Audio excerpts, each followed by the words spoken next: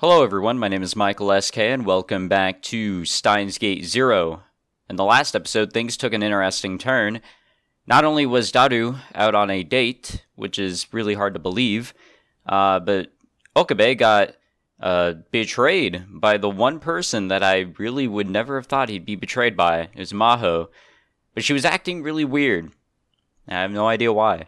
So I guess we'll uh, read on here. I think we're unconscious. I think that's what happened. Uh, so now Maho knows everything. She even knows where the fucking time machine is, which is really not good news. It's not really. I, I don't know why he did that. He he really just fell for those for those crocodile tears. But uh, let's read on here, and uh, let's see what happens. When I woke up, my throat hurt. Oh shit! All right. Not sure what happened there, and wow, is Okabe dying?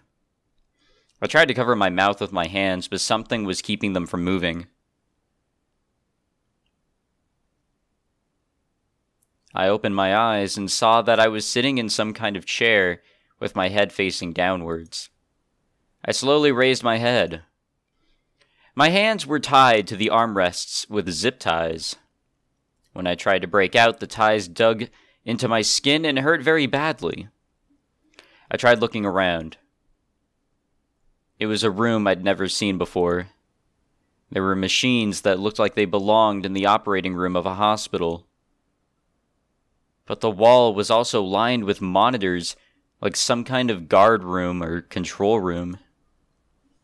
I couldn't see any windows, so I had no idea where I was. Man, we sound terrible. My throat hurt when I tried to talk, and then I remembered that Maho had almost killed me. Why had she done that? I felt more confused than angry. Oh no. Rintaro, Mega Sametakai. Come on. We know who this is, game. You don't have to hide it. It's quite obvious. I heard footsteps and saw a wavering shadow beneath the dim fluorescent lights in front of me. I knew that voice. How can you not know that voice? You hear it once and you know it forever. レスキネン教授気分はどうかな喉が渇いたなら水を用意させるよ。 Oh, thanks. That's quite helpful in this dire time. When I looked again, I saw that he wasn't alone. There were several men behind him in black suits. They were looking at me without saying a word. All of them were holding guns. They looked like MIBs and reminded me of the foreigners I'd almost ran into at Dadu's shop six months ago. Or was it the same group? これは一体 There were a lot of things I wanted to ask, but more than anything, I wanted to know why Dr. Leskinen wasn't helping me. Of course, the first thing that came to mind was the obvious answer. It was Dr. Leskinen who had put me here, and Maho had captured me under his orders. But I didn't want to think about that. ここはどこですか So all I could ask was a stupid question like that. 私の目に狂いはなかったよ。君はまさに情報の宝庫だ。今や合衆国大統領にも匹敵する価値のある人物と言ってもいい。 He didn't answer me, but he showed me a self satisfied smile.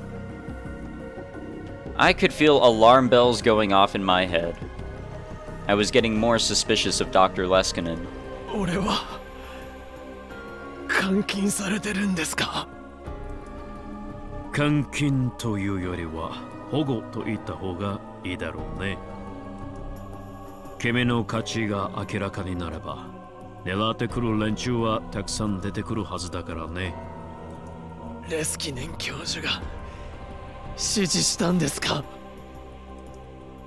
そうだよ。私がこうすべきだと判断した。魔法から君の持つ情報について聞いてね。ヒアジョーさんはどこです？ホテルで休んでるんじゃないかな。ヒアジョーさんは俺から情報を引き出すために近づいてきたんですか？最初はそうではなかったよ。結果的にはそうなったけれどね。あなたも。俺に親切にしてくれたのもそういう打算があったからですか？あなたは一体何者なんです？まあまあ落ち着けなさい前に教えただろう科学者たるもの常に冷静でなければいけない興奮していいのは実験が成功した時だけだと Instead of feeling calm, Dr. Leskinen's attitude was pissing me off. You could feel it, or you could really hear it in in uh, Okabe's voice. He is just he's been betrayed after after everything that we thought uh, that was building up. All this good, all these great people who just stabbed him in the back, and everything is gone down the shitter. I really feel for Okabe. He just can't catch a break. I felt betrayed. There was rage, frustration, sorrow, and a lot of other feelings all mixed together as I gritted my teeth. Dr. Leskinen ignored me and gave a brief order in English to the other men. They left the room. Only Dr. Leskinen and I remained. さて、リンタロウ。私のもう一つの仕事の話をしよう。もう一つの仕事 It was then that I remembered the other world line that I'd been sent to. Shimoyama had told me that an American organization had demanded that I be turned over. CIA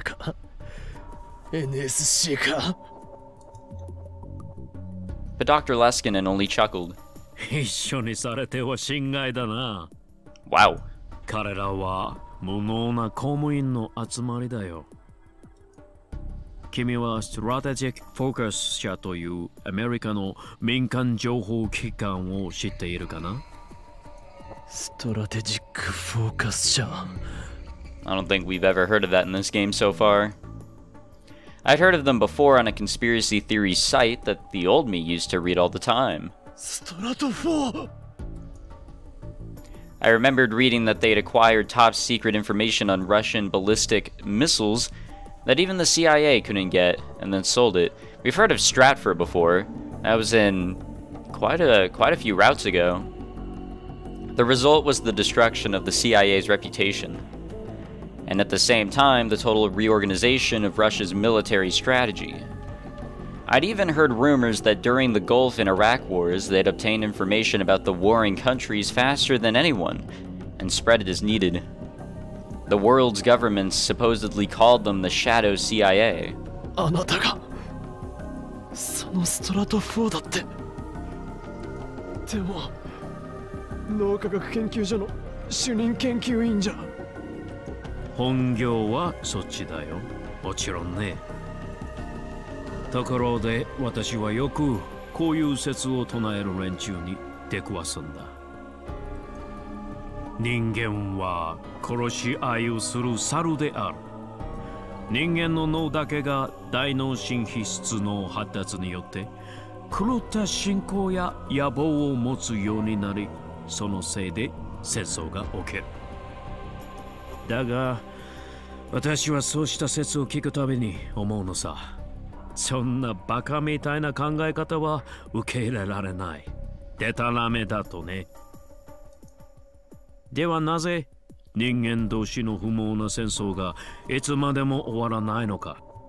わかるかなレンタロウ？それはね情報のせいなんだよ。人間は誰しもあるコミュニティに属している軍隊だ。個人個人は自主的に行動しているつもりでいても実は全ての脳はそのコミュニティにルフされている情報によってつながっている。そして一つの群れとして生きることを余儀なくされているのさ。例を挙げてみよう。そうだな。うーん。例えは悪いが？ヨーロッパのある国が行った。人類史上最悪の大虐殺は何も中世の魔女狩りの時代に起こった出来事じゃない。20世紀も半ばすでに原子爆弾すら作られていた。そんな時代の話なんだよ。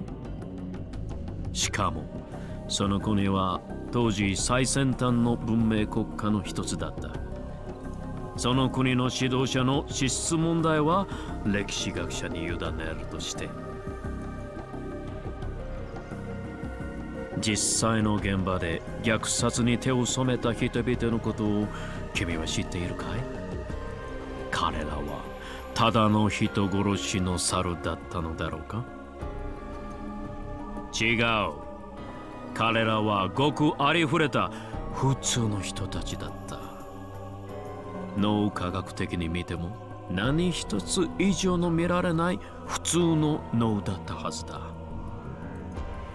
ところがひとたびそこにとある最悪の情報が伝播すると途端に彼らの脳は平気で虐殺を行う軍隊と化してしまう。最悪の情報？これは我々の使命なのだ。我々は正しいのだ。だから使命に従わない者は悪なのだ。そういう情報さ。何が言いたいんですか？人間の脳という脆い軍隊のための情報はきちんと制御できるものが管理しなくてはならないということだよ。それがストラテジックフォーカスの最終目的だ。私はそれに共感して脳科学者でありながらエージェントとして協力している。分かってくれたかな？Not really. わかりませんそんなの。よくある映画の悪役のへりくつだ。結局あなたは金で情報を売買してるだけじゃないですか。俺が情報の宝庫だって言いましたよね。タイムマシンの情報を一体どの国に売るつもりです？アメリカ中国。それとも中東やアフリカの紛争地域ですかそのすべてだよ Oh, you fucker. I don't like this Dr. Leskinen. He's evil. Leskinen shrugged his shoulders and quietly laughed. 核兵器と同じさ抑止力としてあらゆる国に必要だと思っているタイムマシンは核兵器なんかとはわけが違うそれが使われたかどうか誰も気づかない。もしかしたら使った本人さえも気づかないうちに世界は改変されてしまうんだ。抑止力になんかならない。どの国も誰がどう世界線をいじったのかすら感知できないまま狂ったように改変を続けるでしょう。永遠に。その通り。タイムマシーンは核兵器以上にデリケートだだからこそ君の君たちの能力が必要となる君は確かリーディングサイナーと名付けたそうだね God, it's weird hearing it from someone else like him. That's weird. trying to take my jacket off. There we go. どうやら新型脳炎とほぼ同じ症例だとか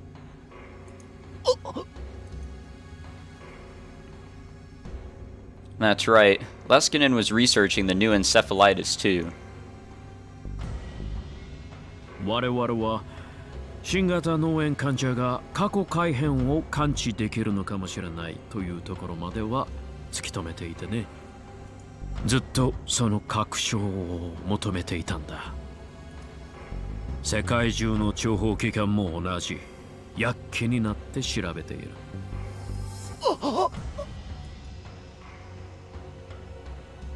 I hated myself for not realizing the possibility sooner. I'd always had the wrong idea. I thought that the reason the new encephalitis patients were being brought together was just to give them meaningless treatment.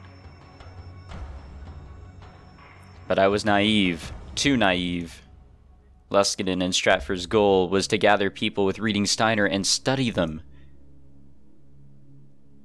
さっき真帆から君の特筆すべき能力のことを詳細に聞かせてもらったよ。本来君からはクリスの失われた成果について聞き出せればそれでいいと思っていたが新型脳炎の情報まで出てくるとは君は最高だよここでも我々は世界に対して一歩先んじることができるというか君はどうしてもっと早く私にその能力のことを話してくれなかったんだい？そうすれば君の友人勝美の脳もあそこまでいろいろといじくらないで済んだのに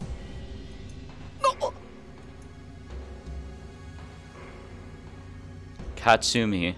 Katsumi Nakase. Did he mean Fubuki?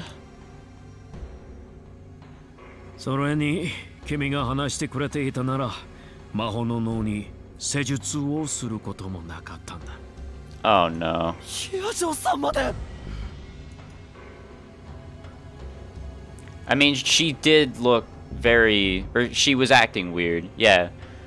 Was that why she was acting so weird? She was really different.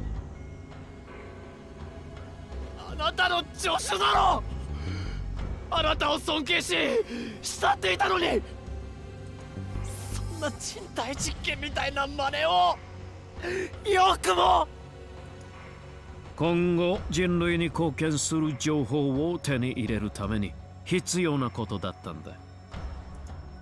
それにそんなに慌てなくても大丈夫。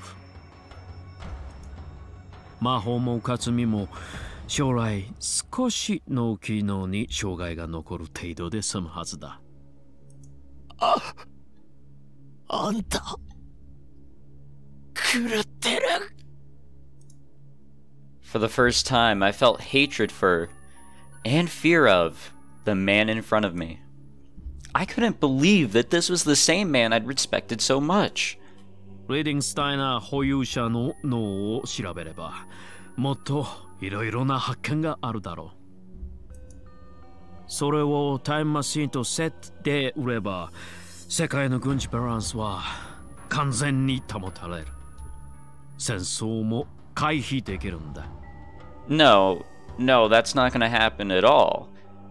People are going to abuse time machines and the information that you sell. There will be no balance, and war will be everywhere. 君にもぜひ協力してほしい Leskinen's mannerisms hadn't changed a bit, even as he spoke of these horrifying things. He spoke of these insane things in the same manner that Maho once described as like a mischievous child's. 俺のことを騙してたんですね Oh, yeah. 俺に近づいたのはただ俺がクリスと親しかったからだ クリスの生前の情報を俺から引き出そうとしていた。騙していたつもりはないよ。君と最初に会ったのは偶然だ。エムディオスのテスターを頼んだのは君がクレスの友人だからというのが大きかったがね。ただ君のことを知るうちに純粋に興味を持ったのは本当だ。今でも思っているよ。私の下で研究員になってくれたら嬉しいとね。だがそれとこれとは別の話なんだ。さっき言っただろう。君は今この時点で合衆国大統領に匹敵するレベルの重要人物だと。私個人の考えよりも我々の仕事を優先せざるを得ないんだ。未来の人類の平和のために残念だリンタロウそして楽しみでもある君の持つ情報の全貌を私は早く知りたくてうずうずしているよ地獄に落ちろ know, I really like Leskinen. I was under the impression that he was a good guy, even after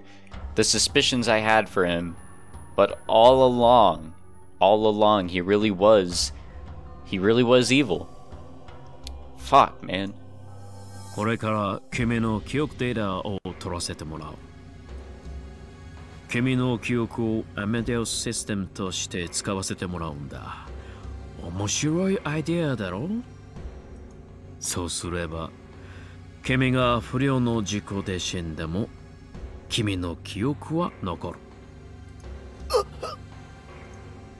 ああ心配しなくてもいい。元より殺すつもりなどないよ。人間というのはエムデウスよりもセキュリティが甘いんだ。苦痛を味わうとそれから逃れるために簡単に情報を漏らす。秘密保持のセキュリティなどないに等しい。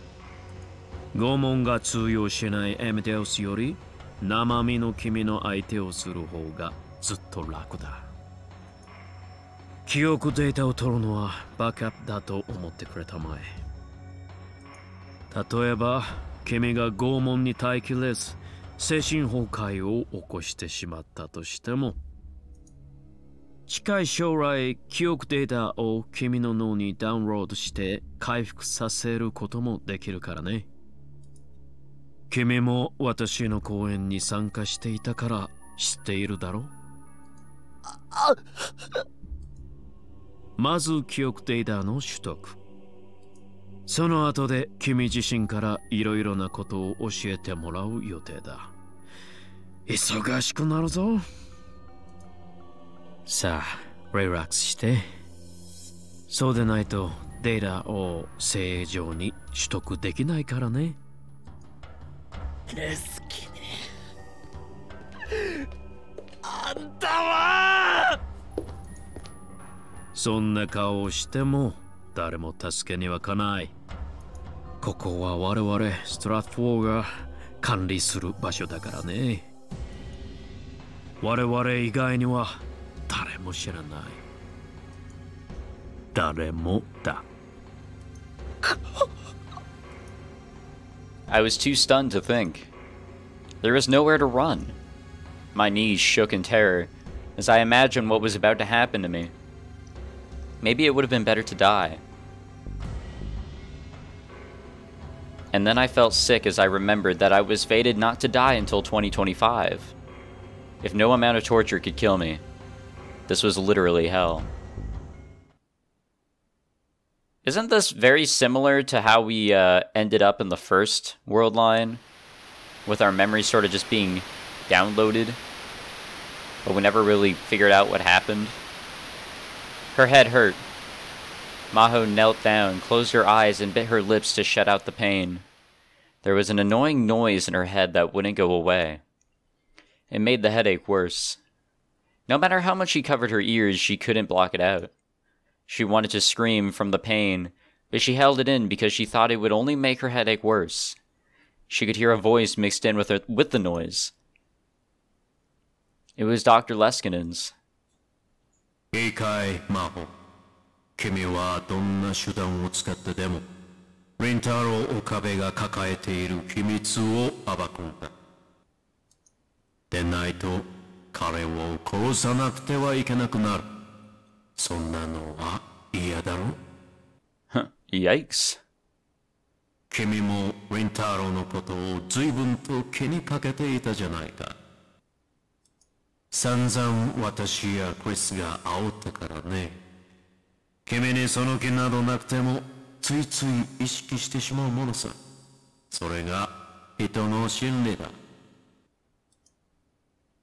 彼を助ける意味でも彼の持つ情報を引き出してほしい。そうしたら私はリンタロウを我が研究室に無条件で迎え入れてあげてもいい。魔法彼について知り得たことは全て私に報告しなさい。彼の未来は君の手にかかっていると言ってもいい。The voice and the noise were extremely unpleasant. She couldn't really understand what the voice was saying. She could hear him speaking, but her brain refused to understand the meaning of the words. But it didn't matter either way. Maho had done something terrible to Okabe Rintaro. She'd sold him out to Dr. Leskin and Aunt Stratford. And the fact that she knew it just made her guilt worse. She wanted to disappear from the world altogether. 真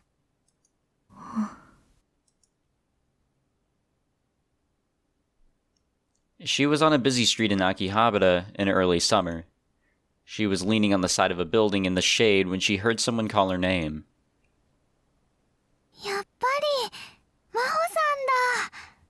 Oh hey, it's Mayuri with her updated sprite. Mayuri-san. I don't know why they just didn't do that earlier. That would have made a lot more sense. She didn't expect to see Mayuri here, so she didn't know how to respond. She just looked back and stared.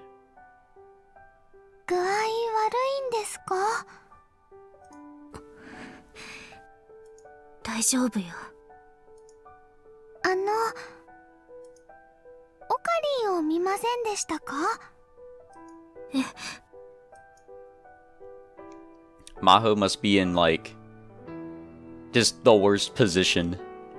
Maho went completely still. Mayuri's innocent question reminded her of her own stupidity and cowardice. どうして Her voice was shaking. オカリン昨日から連絡つかなくてお家にも帰ってないし電話も出ないし メールや LINE にも返事来ないんですダルくんは心配しすぎだって言うんだけどなんだか胸騒ぎがするのです Well, Daru knows the the situation, sort of. I mean, he was kind of there when we were almost, you know, screwed over. So I, I I don't think he should be the one saying that Mayuri is worrying too much. There's dangers out there. だから 今日は学校を早退してこの辺りをずっと探してました It was still only July, but it was pretty hot. She'd been wandering around all of Akihabara in this heat. Mayuri Shiina was a kind, pure-hearted girl, and was the impression that Maho had, or that was the impression that Maho had. She would never betray someone or get jealous or let someone use her. 知りたい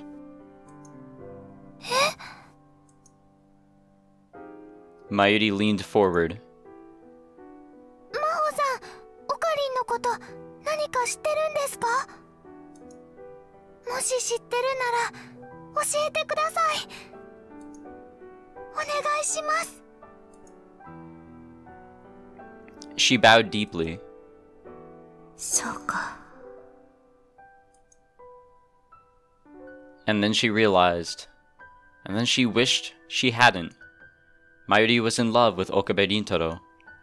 A dull pain ran down her temples. And everyone loves Okabe. 君もリンタロウのことを随分と気にかけていたじゃないか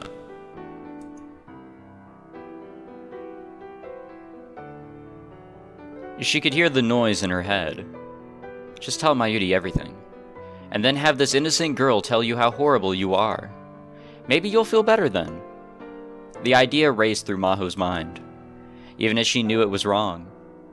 She tried to hold back her headache as she opened her mouth. ゆうべ深夜岡部さんと一緒だったの んですかそれであのオカリンは今どこに Maho ignored her question. 岡部さんは昨日私にこんな話をしてくれたわ No. 彼が経験してきた別の世界において椎名真由里さんあなたは何度も死んだんですって Don't tell her. 何度やっても助けられずあなたは死に続けた You can't tell her this. その悪夢のようなループから抜け出すためにあなたを救うために It was like another person was speaking using Maho's mouth. 岡部さんは クリスのことを犠牲にしたんだって。見殺しにしたんだって。そんな話をしてくれた。タイムマシンを作りクリスをもう一度救おうとすればまたあの頃に逆戻りしてしまう。You're hurting her. But the words didn't stop. 岡部さんはそのことをひどく恐れている。あなたを必死で守ろうとしている。ここは。あなたを守るために他の多くのものを犠牲にして選択された世界なのよ。あなたは何も知らされていないだろうけど嘘そんなオカリン Mairi was too shocked to speak. She looked like she was about to cry at any instant.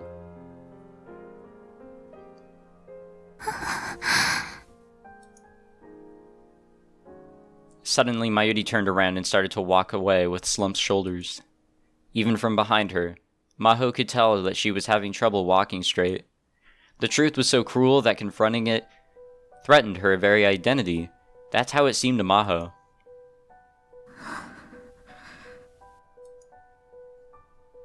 Maho was still in a trance. It felt like there was a fog covering everything she saw. It was all out of focus, like a mirage. If someone told her it was a dream, she would easily believe it. The same was true of her own mind. She knew she should feel worse about what she just told Mayuri, but while she realized she'd hurt her, she felt no emotion. That was probably why she was able to say something so awful. And then the phone in her pocket began to vibrate. She looked and saw it was from, Am- from Amadeus, from Kurisu. She felt a small, thin needle prick her paralyzed heart.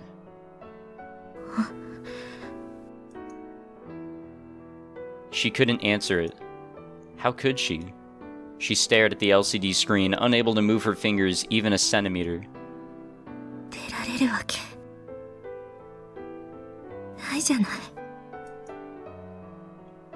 She couldn't let Kurisu see her like this.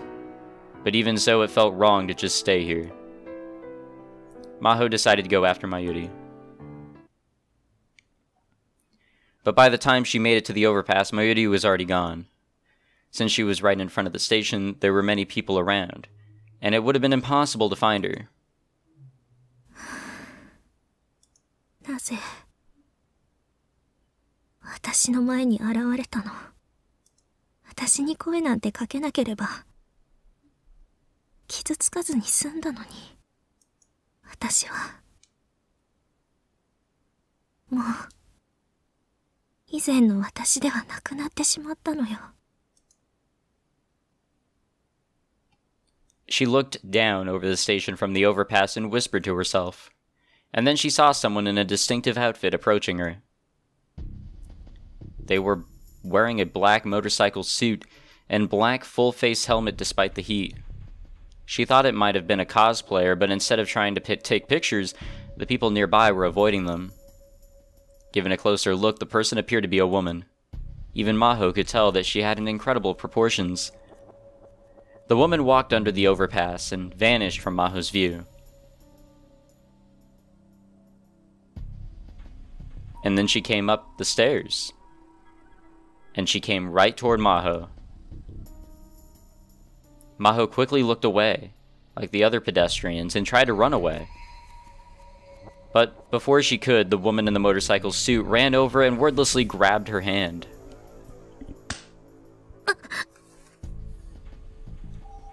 There was a pain in her cheek. She was caught off guard and staggered to the ground. At first, she didn't know what had happened. She rubbed her aching cheek, and only then did she realize that the woman in the motorcycle suit had slapped her.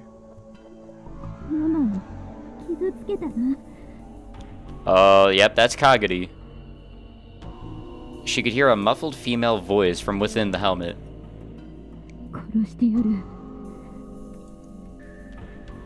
Uh, yikes. Her voice was very calm, which only terrified Maho more.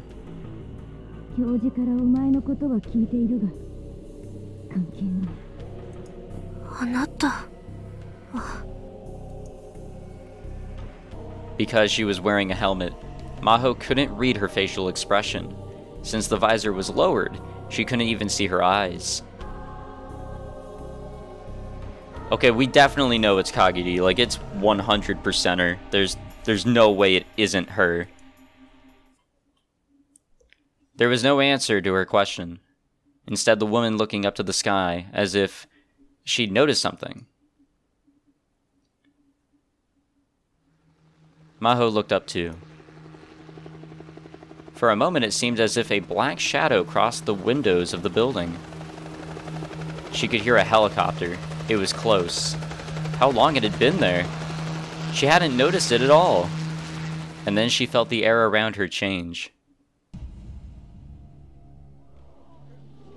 The pedestrians were all looking toward the station in fear and shock. She could hear people saying things like, What's that? Are they filming a TV show? Some kind of cosplay event? Something was going on at the station. Maho stood up and looked too. Nani? She found herself whispering the same thing as the others. There were two trucks painted a deep military green parked outside the station. Uh-oh. that doesn't look good. Men were coming out of them dressed in camo and carrying weapons. At first, she thought it might have been the self-defense force, but the men weren't Japanese. It was hard to believe that what she was seeing was taking place in Japan.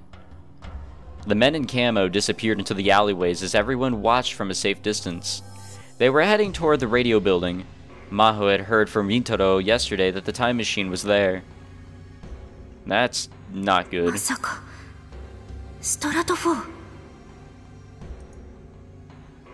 This is, like, the worst scenario.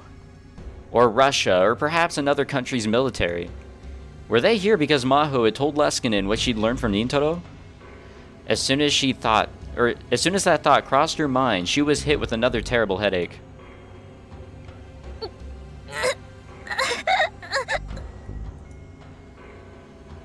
It was all her fault. Everything was her fault. Until a moment ago, everything had seemed so hazy, but now she felt crushed by overwhelming guilt. If Okabe was right, and the Third World War was going to begin here in Akihabara, it would be because she gave the information he shared with her to Stratfor. She suddenly realized that the girl who threatened to kill her had run down the stairs and toward the station. Maho never did figure out who she was, but we did! and then her phone started to vibrate again. It was from Kurisu. She wanted to get away from the guilt, and so this time she picked up the phone.